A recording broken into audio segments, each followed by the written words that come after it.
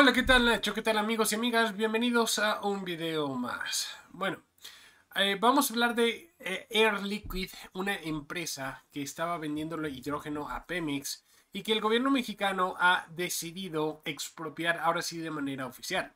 Obviamente esto ha hecho que los chayoteros, que la derecha en México se rasguen casi casi como si les hubieran, no sé, acabado con algún familiar cercano, diciendo que esto va a terminar causando que los extranjeros ya no quieran venir a invertir en México. Aunque en la realidad esta empresa o esta planta de hidrógeno era mexicana, era de Pemex y durante el gobierno de Peña Nieto, así como se solía hacer, se regaló a, particulares, a los franceses, y luego se hizo una concesión para que durante 20 años Pemex le estuviera eh, pagando.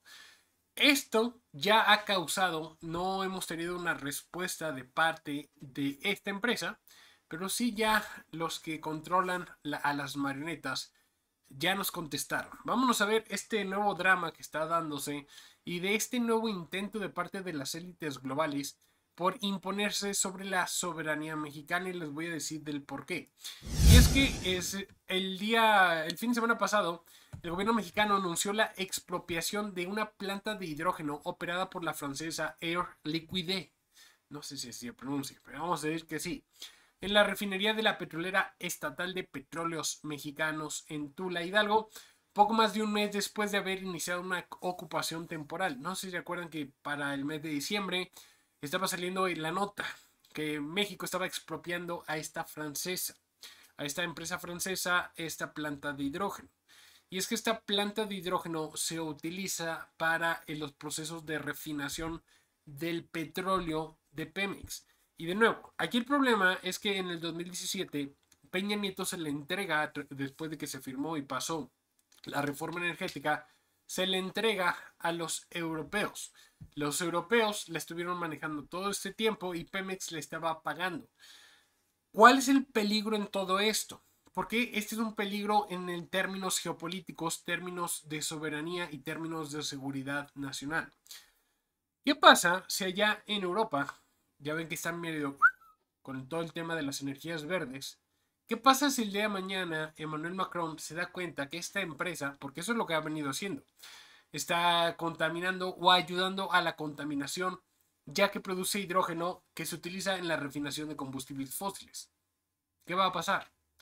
Pues le van a prohibir. Y esta empresa, pues es francesa, entonces tiene que, aunque esté dentro de la refinería de Tula en Pemex, tiene que responderle a los franceses antes que a los mexicanos. ¿Qué va a pasar? Pues van a dejarle de vender hidrógeno a Pemex. Y esto terminaría causando una crisis porque ahora la refinería de Pemex no podría refinar. Entonces, simplemente para protegernos de la, perdón por la mala palabra, pero de la estupidez de los europeos, porque ellos ahorita hemos visto cómo se han desindustrializado, han entrado en una vil recesión económica, por estas posturas que parecen más una religión en el tema de las energías verdes, y yo no estoy a favor de la contaminación, pero literalmente preferir morirse de hambre, que es lo que están haciendo ahorita con el tema de los agricultores, a, eh, todo por la intención de ya no estar emitiendo dióxido de carbono, como que me parece que esto es ya un fanatismo. Entonces, dentro de ese fanatismo, pues no nos conviene arriesgarnos a que el día de mañana esta empresa diga, ah, pues sabes qué, ya me di cuenta que Pemex está contaminando mucho. Porque si se acuerdan, si se acuerdan, y esto, ojo, ya nos vienen con todo el pleito de la refinería Cadereyta. Si se acuerdan, ya traen la intención de afectarnos. ¿Por qué? Porque México no ha venido rindiéndose, no le rinde pleitesías a estas élites. Entonces, como México no termina por aceptar eh, los acuerdos de París y este tipo de acuerdos fanáticos terminan por intentarnos doblegar de distintas maneras, cerrándonos la refinería de Cadereyta, dejándonos inservible a Tula en esta refinería. Entonces, por eso el gobierno mexicano termina por expropiarla. Expropiarla no significa robar, ojo, le van a pagar a la empresa francesa el billete de lo que cueste esta, esta planta de hidrógeno para que digan que si se fueron con dinero, no simplemente se quitó y ya. Y es que simplemente por seguridad nacional, se necesita tener el control de la cadena de suministros. Lo más absurdo es que Peña Nieto la entregó diciendo que esto iba a bajar los costos. Es que de verdad era, era vil, era vil lo que estaban haciendo. Iba a bajar los costos en la producción de petróleo. Ahora, ¿cómo han respondido? Estos señores de Air Liquide no han dicho nada. Pero Moody's sí. Y Moody's ha rebajado la calificación de Pemex a B3 desde B1. ¿Qué significa esto? Pues ya que prácticamente está en grado basura. ¿Qué significa estar en grado basura? Es un grado especulativo. Al ser grado especulativo, eh, lo he hablado en distintas ocasiones. Eh, por ejemplo, ustedes saben que yo estoy mucho en el tema de las criptomonedas, en el tema de Bitcoin. El Bitcoin es especulativo. Últimamente ha estado subiéndose como un 20% en el último mes. Pero eso no, significa que el siguiente mes va a subir un 20% o va a subir un 1%. El siguiente mes puede caerse un 50%. Eso es especulativo. No hay promesas, no hay garantías.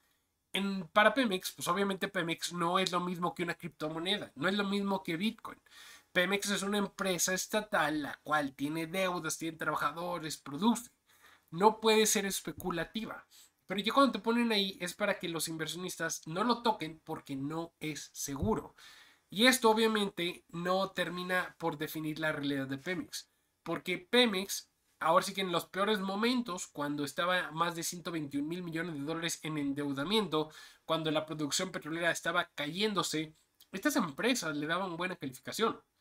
Y ahora que han venido reduciendo el, el endeudamiento, que ya tienen garantizado prácticamente que tienen el efectivo para pagar todas las amortizaciones este año y que están aumentando la producción, tanto de petróleo como de refinados, ahora sí están muy preocupados de que, ay, es que en un, en un futuro cercano, quién sabe si, si la empresa va a existir, ¿no? Ya, ya la vimos y, no, yo creo que ya en una semana ya le damos tres meses de vida y ya, nada más eso. Esa es la, el, lo que están queriendo decirnos. Esto obviamente es una respuesta, una respuesta a que no les gustó para nada cómo el gobierno terminó de asegurar que Pemex sobreviviera. Pues bueno, así está. Si les gustó el video, por favor, déjense mega like, déjense comentario y suscríbanse, se los imploro por favor. Ahí nos ayudan muchísimo con una suscripción. Y bueno, los veo en un siguiente video, cuídense mucho. Bye.